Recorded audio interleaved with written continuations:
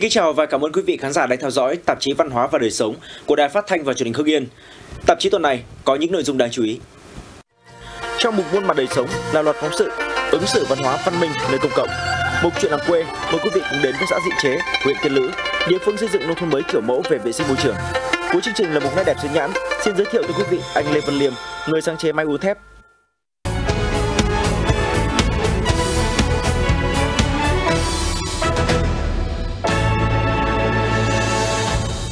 quý vị, ứng xử nơi công cộng thể hiện sự hiểu biết và ý thức trách nhiệm đối với cộng đồng của mỗi người. Song vấn đề này vẫn còn khá nhiều điều cần phải bàn, mà một trong những vấn đề nổi cộng là tình trạng xả rác bừa bãi, tư tưởng sạch nhà, bẩn ngõ còn ăn sâu trong suy nghĩ nhiều người. À, thưa quý vị và các bạn, tôi đang có mặt tại đường ADB, xã Liên Phương, thành phố Nghiên và ngay đằng sau tôi là một tấm ờ, biển cấm đổ rác phạt tới 2 triệu đồng. À, sau tấm biển này là một tấm biển nữa cũng với nội dung tương tự. Thế nhưng mà ở ngay phía dưới tấm biển và giữa khu vực của hai cái biển cấm đổ rác này à, lại là một bãi rác tự phát và được biết là trước Tết Nguyên đán thì những công nhân của công ty môi trường và đô thị thành phố Nghiên đã dọn sạch cái bãi rác tự phát này. Nhưng mà bây giờ thì cái tình trạng người dân mang rác ra đây đổ thì lại tái diễn. Cứ tầm tối tối sầm tối sầm tối bắt đầu người ta lai tôi bắt đấy cái gió đằng kia về đây là là bẩn là, là khó chịu Ủy ban nhân dân xã Liên Phương cho biết, địa điểm xuất hiện bãi rác tự phát này gần nơi tập kết các xe rác của xã. Sau đó, công ty cổ phần môi trường và công trình đô thị Hưng Yên sẽ thu gom. Tuy nhiên, nhiều người dân thiếu ý thức đã mang rác ra đây vứt, hình thành bãi rác tự phát gây mất mỹ quan và ô nhiễm môi trường.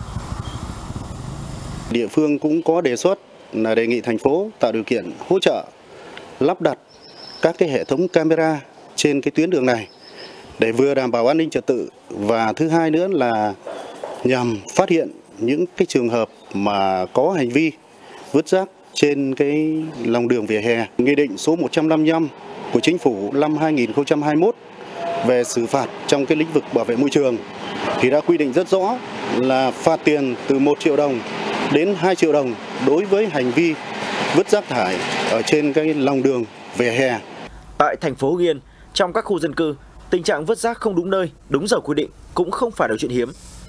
Chị Đào Thị Lan Anh là công nhân vệ sinh môi trường của công ty cổ phần môi trường và công trình đô thị Hưng Yên. Theo quy định, thời gian thu gom rác mùa đông từ 17 giờ tới 19 giờ, mùa hè là từ 18 giờ tới 20 giờ. Thế nhưng, chuyện 21 giờ, thậm chí 22 giờ vẫn có người mang rác ra đổ, gần như ngày nào cũng có. Ví dụ như nhà dân là phát sinh thì chúng tôi lại cũng cố gắng làm thêm thời gian một chút. Có thể là người ta đi làm về mục Đó là những hành xử thiếu văn hóa trong khu dân cư, nơi công cộng. Vậy còn ở chốn tâm linh, nơi mà nhiều người tìm tới sự thanh tịnh trong tâm hồn, người ta có còn hành xử thiếu văn minh hay không? Những hình ảnh này được phóng viên Đài Phát thanh và Truyền hình Hưng Yên ghi lại vào ngày mùng 2 Tết Nguyên đán tại khu vực trông giữ xe gần đền Mẫu, thành phố Hưng Yên. Ngày đầu năm mới lại gần chốn linh thiêng, nhưng mâu thuẫn được người ta giải quyết bằng bạo lực. Bảo vệ trách nhiệm đôn đốc để có như anh em vào bãi xe quy định. Bên lái xe thì có cái câu nói là không là hài hòa tôi muốn đỗ đâu thì tôi đỗ. Bên ngoài đền mẫu nhiều du khách vẫn vô tư xả rác nơi công cộng. Nhóm phật tử này đang thực hiện nghi lễ phóng sinh đầu năm. Cá ốc chạch được phóng sinh xuống hồ bán nguyệt trước khu vực đền trần đền mẫu. Có người đã thả luôn cả túi ni lông và chân hương vừa làm lễ nhiều con trạch đã chết trước khi được phóng sinh Ủy ban dân phường đã xây dựng các cái kế hoạch ờ, nhằm đảm bảo an ninh trật tự và trong đó có nhiệm vụ về công tác vệ sinh môi trường. Thông qua hệ thống tuyên truyền của di tích và của địa phương thì bên cạnh đó là các cái hệ thống về quản lý về quản lý nhà nước, ví dụ các ban ngành đoàn thể thì cũng hướng dẫn du khách để làm sao mà giữ gìn cái vệ sinh chung của tại di tích. Chốn tâm linh là nơi để con người thể hiện nét đẹp về văn hóa tâm linh, lòng biết ơn với thần Phật, tổ tiên, những vị có công với dân với nước. Bởi thế, hành xử có văn hóa chốn linh thiêng là thể hiện lòng thành kính, phong văn hóa và sự tự tôn của mỗi người.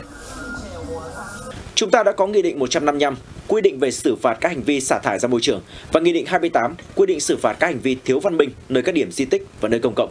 Tuy nhiên, những hành vi thiếu văn hóa thì vẫn diễn ra thường xuyên và ở rất nhiều nơi. Bên cạnh luật pháp thì có lẽ giáo dục về văn hóa ứng xử nơi công cộng từ khi còn nhỏ là giải pháp nâng cao ý thức người dân. Đây là một giờ học trải nghiệm thực tế của các em học sinh lớp 1 trường Cao đẳng Cộng đồng Hưng Yên. Bài học hôm nay là về ứng xử có văn hóa và bảo vệ môi trường. những tình huống được các em nhỏ vào vai và tự mình xử lý. Nhưng sau đấy thì cháu đã biết khắc phục hậu quả đúng không? Hoạt động được các em yêu thích nhất trong giờ học này có lẽ là nhặt rác để bảo vệ môi trường. Con nhặt rác ạ. Nhặt rác để làm gì? Để bảo vệ môi trường ạ. Khi mà nói lời lịch sự với cả các bạn thì con nghĩ là các bạn có vui không? Có. Vì sao nhỉ? Vì con nói lịch sự với các bạn ạ. Vì sao con lại thích nhặt rác nhỉ? Tại vì bảo vệ môi trường ạ. Và trong cái diễn hoạt cảnh đấy thì con đóng vai gì? Con đóng vai là bạn trẻ ạ. Bạn trẻ. À. Và cái hoạt cảnh đấy thì con rút ra được bài học như nào? Ờ, con rút ra bài học là con sẽ chú ý hơn ạ sản phẩm của chúng mình. Rất là nhiều những cái vỏ bánh vỏ sữa. Vậy thì đầu tiên này việc các bạn đã thực hiện đấy là gom nó lại. Thì sau khi chúng mình đã mất công gom rác lại chúng mình nhìn thấy cái không gian sân chơi này của chúng mình nó đã sạch hơn chưa? Những cái thói quen của các em ý nó sẽ được hình thành mỗi ngày. Nó được lặp đi lặp lại từ những cái hành vi rất là nhỏ để tạo thành những cái thói quen và dần dần là nó sẽ hình thành một phần tính cách của các bạn sau này. Nếu như một lần hai lần chúng ta thực hiện ấy chúng ta hướng dẫn học sinh thì có thể là các em ấy nhanh học nhanh quên lắm. Nên là cái việc đấy chúng tôi không phải là làm trong bài học đâu mà là chúng tôi làm mỗi ngày. Trẻ nhỏ được giáo dục các hành vi ứng xử có văn hóa và từ đó làm thay đổi hành vi của người lớn.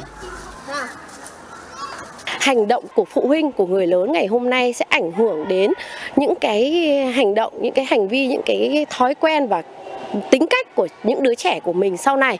Nên là cái việc xử phạt phụ huynh ấy, có khi không hiệu quả bằng cái việc là cho họ nhìn thấy rằng là cái hành vi đấy sẽ ảnh hưởng đến đứa con của họ sau này như thế nào. Văn hóa ứng xử nơi công cộng được hình thành từ bé sẽ tạo ra một thế hệ có cách ứng xử văn hóa, văn minh.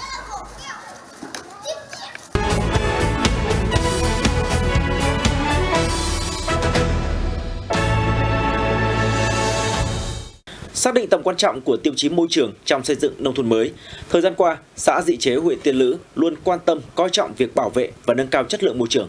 Nhờ vậy, bộ mặt làng quê ngày một đổi mới, đời sống người dân được nâng cao. Ngày nào cũng thế, ông Nguyễn Quang Dũng cũng như nhiều người dân đều ra địa điểm trước nhà văn hóa thôn Nghĩa Chế để hóng mát và hít thở không khí trong lành. Từ ngày có đường đẹp giờ, một à, ngày tôi có khả năng đạp xe đạp đến 3 tiếng, buổi sáng và buổi chiều. Thế về cái không khí này thì tôi lại vào ngồi ghế đá này này.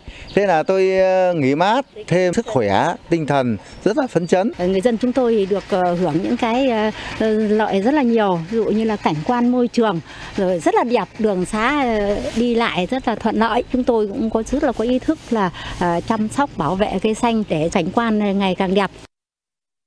Ngay từ khi bắt đầu, xã Dị Chế đã luôn chú trọng công tác tuyên truyền, nâng cao nhận thức và trách nhiệm của mỗi người dân về bảo vệ môi trường thông qua các buổi sinh hoạt tập thể, đặc biệt là trên hệ thống loa truyền thanh, thành lập các tổ thu gom rác, dọn vệ sinh đường làng, ngõ xóm, triển khai hiệu quả nhiều mô hình như phân loại rác thải tại hộ gia đình, nhà sạch, ngõ sạch, ngày Chủ nhật xanh.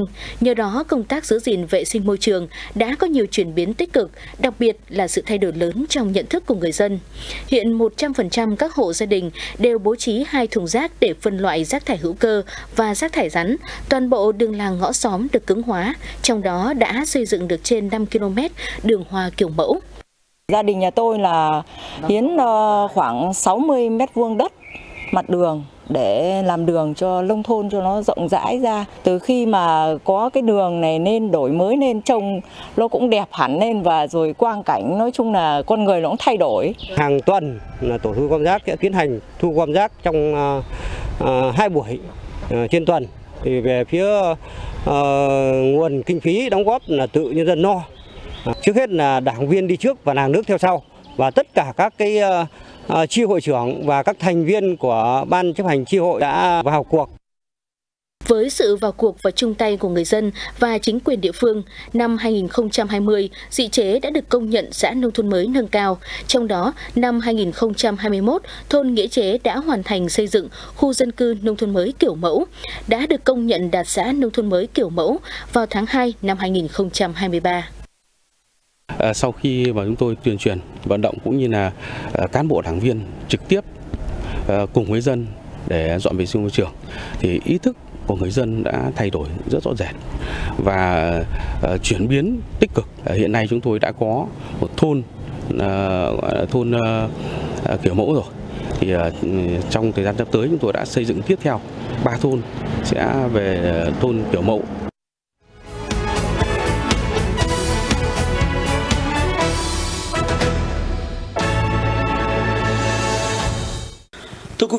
với mong muốn giúp những người thợ xây dựng giảm sức lực và thời gian, tăng năng suất trong công đoạn uốn cắt sắt ở các công trình xây dựng, anh Lê Văn Liêm, sinh năm 1983, ở xã Phú Thịnh, huyện Kim Động, đã nghiên cứu và sáng chế thành công chiếc máy uốn cắt thép CB25. Chiếc máy hiện đã có mặt tại nhiều công trình xây dựng trong và ngoài nước. Khi tốt nghiệp Đại học Bách khoa Hà Nội năm 2006, anh Lê Văn Liêm đã lựa chọn ở lại Hà Nội để làm việc. Thế nhưng sau hơn chục năm buôn ba, đến đầu năm 2017, anh lại quyết định trở về quê xây dựng lại sự nghiệp. Ban đầu, anh mở một gara sửa chữa ô tô nhỏ. Nhưng sau những lần chứng kiến tại một số công trình xây dựng, người lao động rất vất vả để cắt, uốn những thanh sắt thép to, anh Liêm đã tìm hiểu, nghiên cứu và chế ra chiếc máy uốn thép.